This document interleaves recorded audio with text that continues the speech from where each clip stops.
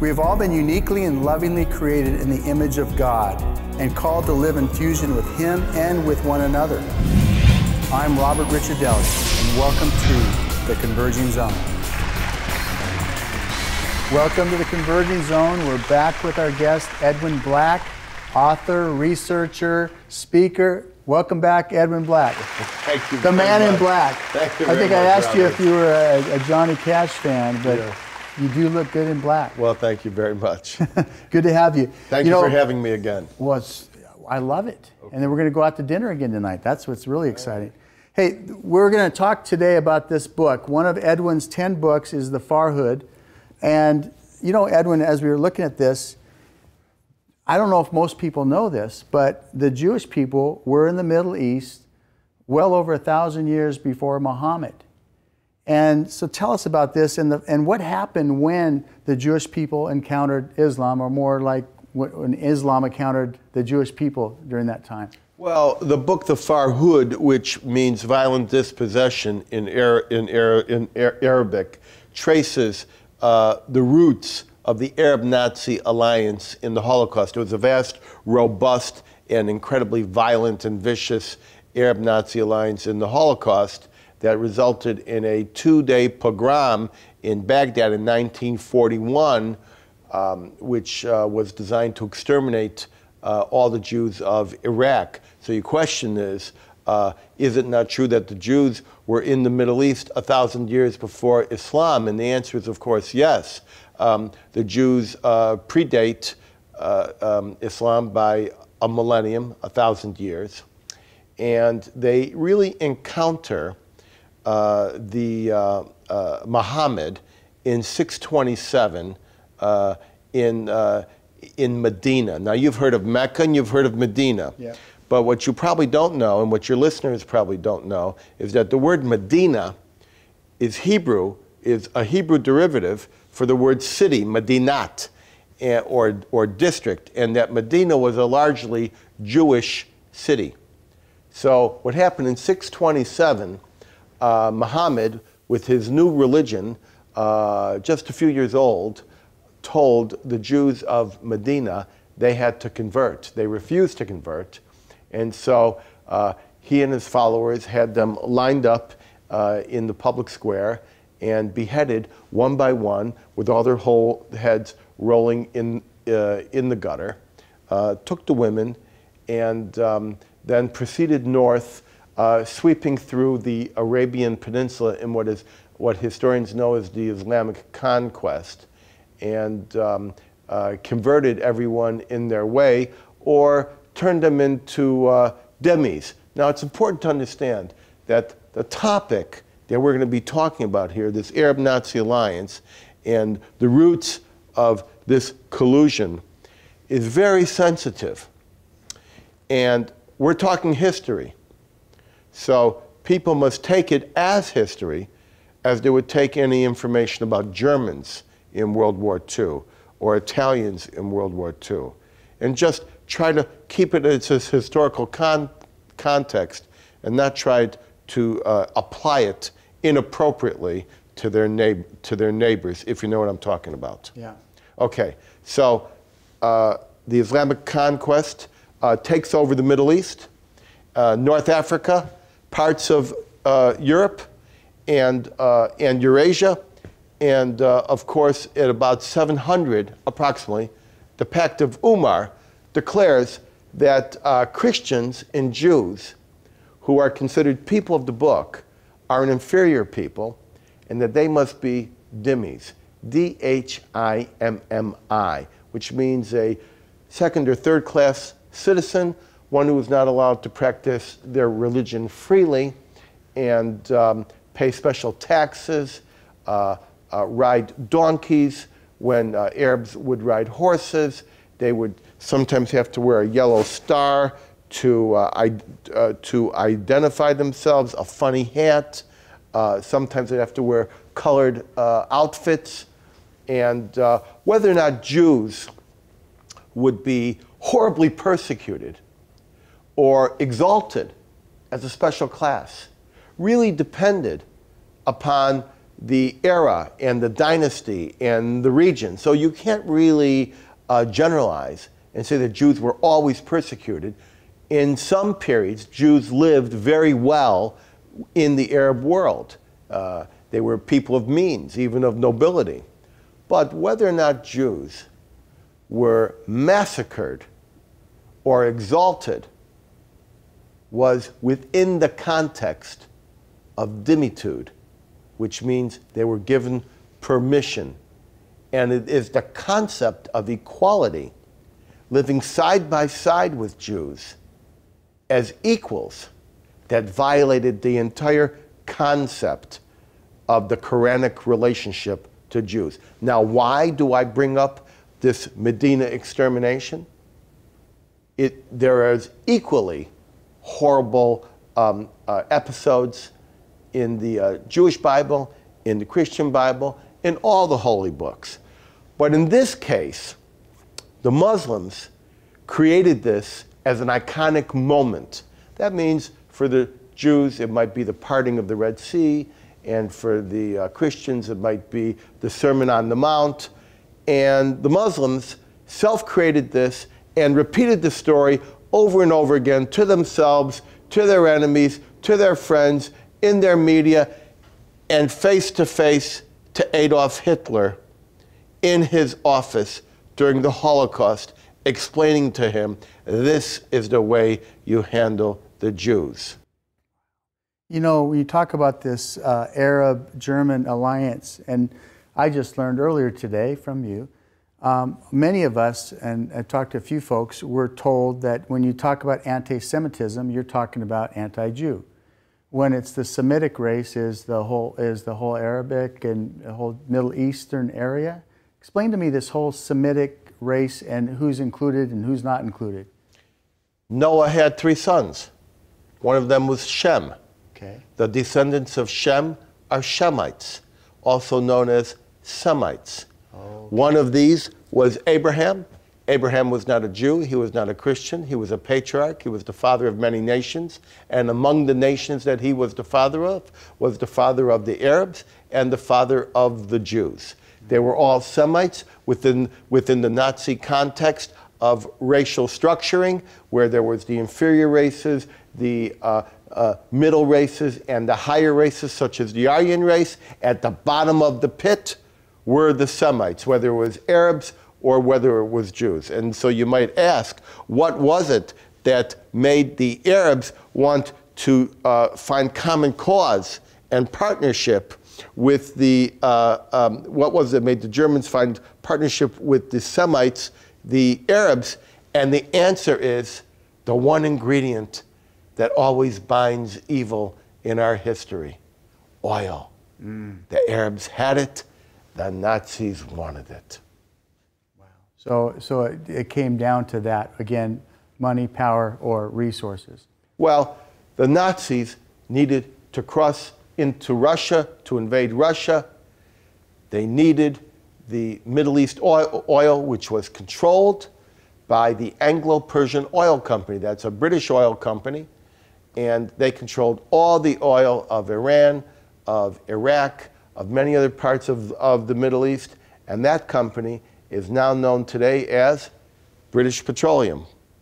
And British Petroleum was actually central to creating all the boundaries and country lines and national frontiers in the Middle East along the lines of the oil contracts and the pipelines that they hoped to uh, construct to convey the oil according to those, agree, uh, to those agreements. Explain further what actually happened, what took place in 1941. Well, so many Jews were coming into Palestine during the Hitler regime because Palestine was set up as a, um, uh, as a Jewish and an Arab homeland. Now, let's go back in time. You do remember that Israel was uh, uh, established before Roman times, but when the Romans came in, uh, they expelled the Jews after the Jewish revolt, and uh, they renamed uh, Israel Palestine, Syria Palestina, uh, meaning uh, uh, the southern part of Syria, to forever erase the name of the Jews in their own homeland of Israel. So the Jews were all pushed out. As an example here, of how, in some cases, the Jews were helped by the Muslims of the uh, uh, ancient world. In 1492, when the King of Spain, on behalf of the Catholic Church, expelled the Jews from uh, Spain for the Inquisition, it was uh, the Sultan who um, uh, gave um, uh, help and rescue to all the Jews, or many of the Jews, who were expelled in 1492, and said to, to the uh, King of Spain, uh, What a fool you are to get rid of the Jews. And he welcomed the Muslim Sultan, uh, welcomed the Jews into the Ottoman Empire, which, of course, was run by Turkey, which controlled all the land of the Middle East for approximately 500 years. He welcomed them in, and he welcomed them in not as slaves, not to toil, not to bring uh, large stones up a hill. He, he brought them in to thrive. He brought them in to be businessmen, to bring their scientific knowledge, their academic skills. And so that's a perfect example how it's important not to generalize about whether Jews were, mis- were mistreated or well treated during their years in Muslim lands. But it does not change the fact that once Jews escaped from dhimmitude and into equality, it violated every Quranic concept of relation to the Jews. Now, when did that happen?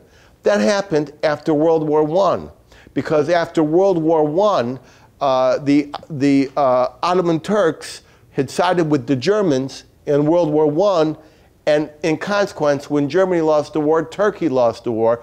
Turkey lost all of its colonies in the Middle East, including those in Palestine. And the League of Nations carved all of this up to create a better world. In the process, they gave national rights to minorities who were attempting to achieve self determination. Now, what is self determination? At the end of the 19th century, that's the 1900s, uh, it uh, signaled the uh, fall and recession of the ecclesiastical, dynastic, and monarchical regimes.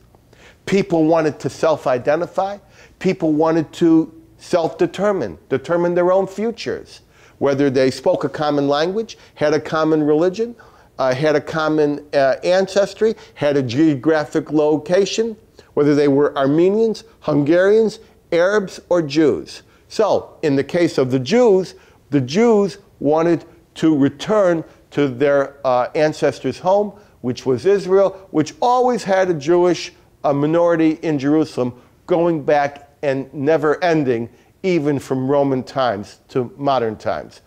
And that meant that the Arabs and the Jews would be living side by side because when the Balfour Declaration of the, King of, the King of Eng England, uh, expressed through his foreign minister, Balfour, said, We welcome the Jews to return to their homeland. And this was echoed by Woodrow Wilson in America, by the French government, even by the German government and the Turkish government, which owned the property.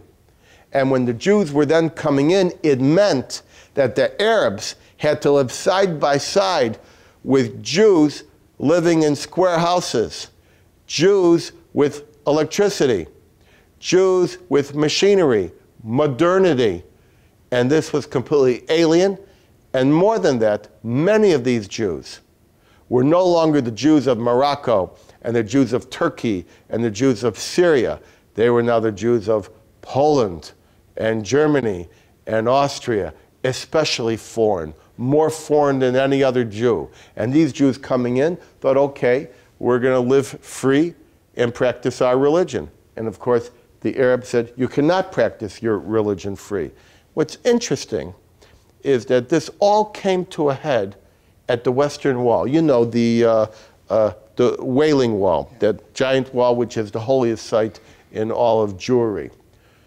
The Jews in 1928 said, It's hot, it's Yom Kippur, which is our holy day. We have to stand all, all, all day in many cases. We have to pray all, all day without food. At some point, we want to sit down. And when they tried to sit down, the Arabs warned them don't do that again. Do not sit down at the Wailing Wall. Jews were not permitted to sit when they prayed at the Wailing Wall. Now, why is that? because that wall that most of your viewers know as the holiest part of Jewish tradition, that wall is also holy to Muslims. Mm. It is called Al Buraq. Let me explain. When Muhammad flew from Mecca on his winged white horse to the seventh heaven, he tethered his horse at the furthest mosque. That's the mosque most far away from Mecca. The furthest means Al Aqsa. Al Aqsa Mosque, the furthest mosque, right in Jerusalem, where they had the least number of Jews, because as we know, uh, Jerusalem was never part of the Quranic tradition. It's never mentioned in the Quran. Uh, it is uh, mentioned hundreds of times in the Jewish and the Christian Bible. And of course, originally, before Medina, uh, uh, Muhammad prayed toward Jerusalem. And then, after he saw the resistance of the Jews to the new religion, uh, turned his back to Jerusalem and prayed to Mecca. So he was facing Mecca, and the other side was facing Jerusalem. So, because Muhammad, on his white winged horse, tethered his horse at this wall, that made this wall sacred to Muslims. And as a result, if Jews sat there, it seemed to bestow some form of autonomy or ownership of the wall or step by step liberation or whatever you want to say. And so they said, never sit there again. The next year, in 1929, the Jews again, during a Jewish holiday, said, We're here, we're uh, free, we're living in a, in a Jewish homeland established by the League of Nations, established under international law, both individually by the leading uh, uh, powers of the world and the entire international community. We've got to be allowed to sit when we uh, pray if we want to. And at that point, um, the uh, British police began pulling the chairs out from under these little old ladies trying to sit because the British police were charged with the impossible task of enabling Jewish self determination in Palestine, but maintaining the status quo of the Muslim religion, which under Sharia said that Jews may not sit. And so a riot broke out where uh, the, the uh, Jewish notes in the wall were burned and um, Jews were beaten down with um, uh, rifle butts and uh, the, um, uh, the mortuarians and the medical examiners said it was the worst post-mortuarial skull fractures they had ever seen, even after World, World War I. And then the Mufti of Jerusalem, the guy who's in this famous picture, this is the, this is the leader of the uh, Arab community and ultimately became the leader of the entire Muslim community during World War II. He told the British, quick, go down to the old city and save the Jews. So when the police went down there, the main band of marauders went up to Hebron and slaughtered the uh, defenseless Bible study people in that town. Scores of them were killed, and they weren't just killed, they weren't just murdered, they were murdered in accordance with their identity. That means the baker was baked in his own oven. The scholar had his head cut open and his, his uh, brain was played with uh, like, a, um, like a football. Um, a traveler uh, was crucified against a door. And it would have been worse, but many righteous Muslims, neighbors, pulled themselves in front of the mob and, and, and, protected their, their neighbors. And finally, the British found out what was going on and brought in uh, uh, machine gun equipped aircraft to clear the streets. And it became worse and worse, and the British government said, We will um, make two states, one for the Arabs and one for the Jews. It's obvious they cannot live, to, live together. At that point, the Mufti of Jerusalem escaped, to, uh, escaped arrest into Iraq. and formed a cabal with other Arab Nazi fascists. And when I mean Arab Nazis who actually saluted Hitler, marched in the Nuremberg torchlight parades, and on June 1st, 1941, uh, they were scheduled to massacre all the Jews of Baghdad. They had put their red palm print on every doorpost, kind of like an inversion of the uh, Passover story. And um, uh, the mayor of Baghdad got wind of it, and as a favor to the Jews and to help the Jews, expelled the Mufti and his cabal of lieutenants. And then, in the power vacuum of just hours, a monstrous pogrom broke out.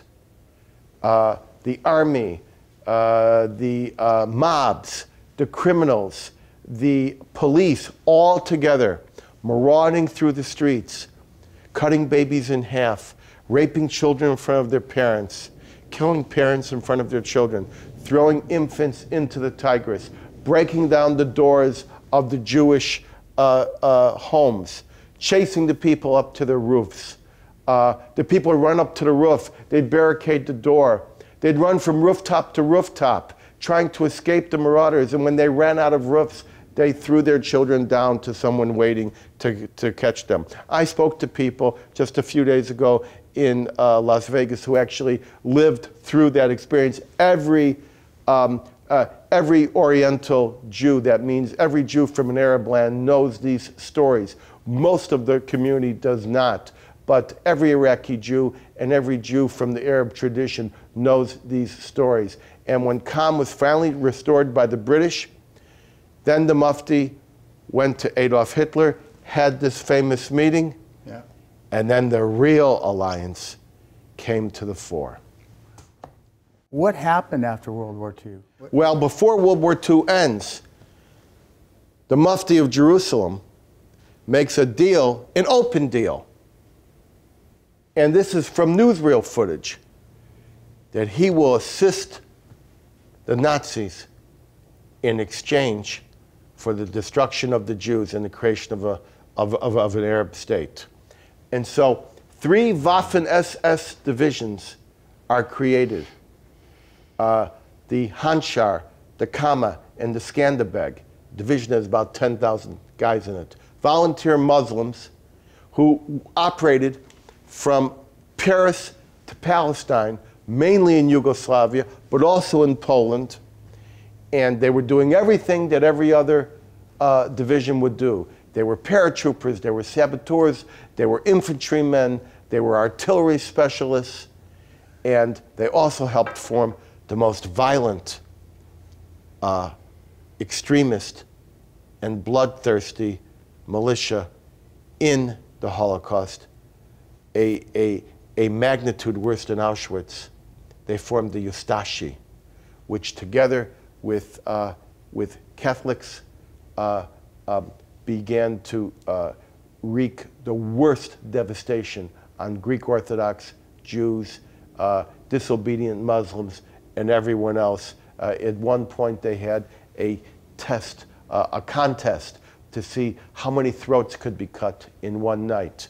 And uh, one guy cut 350 throats, and one guy had 650 throats. And the winner of this contest in this one concentration camp called Jasenovac uh, uh, um, cut 1,350 throats. And so um, finally, when World War II uh, came to a close in May of 1945, we can say that the war against the Jews uh, ended in Europe, but then it continued in the Middle East. Because to answer your question, many, about 2,000 of the Gestapo agents, SS, concentration camp guards, uh, in, intelligence, escaped from Nazi Germany by, uh, by the Odessa Plan and by other uh, um, uh, rescue routes into the Arab lands, took up positions in the Egyptian and Syrian military, intelligence, police, and ultimately helped formulate the armies and the strategies to finish the job when Israel was granted independence and declared independence. And when they six armies surrounded Israel, they didn't say it is a uh, it is a war to liberate our lands. They said it's a war of extermination. We will finish the job, but they didn't finish the job. And it is those people, it is that generation that gave us the current generation, which is how we got to the Middle East. In fact, the most popular name for children in, in, in, in the Muslim world was Hitler. Wow. The General Tantawi, field marshal in Egypt, just relieved of command, had two brothers, Benito and Hitler. You can even go to Google and type Hitler Tantawi, and you find a famous general. It's a sad story, but helps explain. And so you may say, What is the hope in what you say? There is hope. Because even though there's no chance for peace in the Middle East, because no, you cannot suddenly overturn 1400 years. There is a chance for peaceful coexistence. And a generation of peaceful coexistence can lead to another generation of genuine peace and then a third generation of true fellowship. Do you know what the Israeli uh, national anthem is called? No. It's called Hatikva. Do you know what it means? No. Hope. Oh, that's great. Thank you. You know, real quick, with where we're at today in the world, and what, what, what are you seeing in the headlines now? I mean, we're going to talk briefly in, in, in another segment around what's going on today, but uh, regarding this whole thing, is what is going on in the headlines right now? Right now, uh, Hamas in Gaza uh, has been committing war crimes for uh, several years. Uh, specifically, they're launching uh, rockets um, into civilian areas and as a result of launching rockets into civilian areas, sometimes 200 at a time. Imagine being in your city and seeing 200 rockets come in. Uh, Israel finally has gone in to wipe out some of those rockets and to uh, uh, decapitate the leadership and to try to put a stop to it. You know, we're going to come back. We're actually going to do a, a, little segment on this, on what's going on right now uh, as of today. And you're going to hear some things you may not hear in the, in, in the regular news. And my friend Edwin Black is in the know uh, of what's going on over there. Edwin, thank you so much for being with thank us. Thank you for having me, Robert. Thanks for being with us on the Converging Zone, and we'll see you back soon.